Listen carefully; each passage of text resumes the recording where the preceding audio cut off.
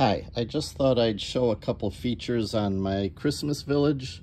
I have one switch that operates all the lights for the houses and the street lights.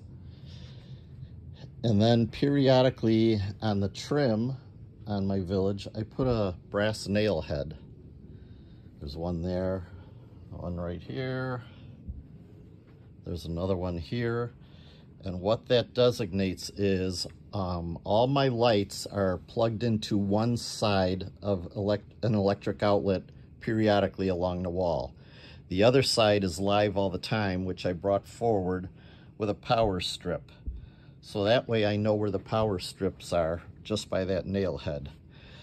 Um, I keep all my village boxes inside larger boxes, which I designated with uh, alphabet letters. And um, I keep an inventory on the computer with what village house boxes are in what bigger boxes.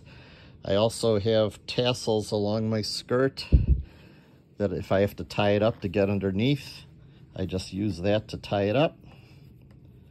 Pull it out when I'm done, untie it, and it's back to hanging down correctly.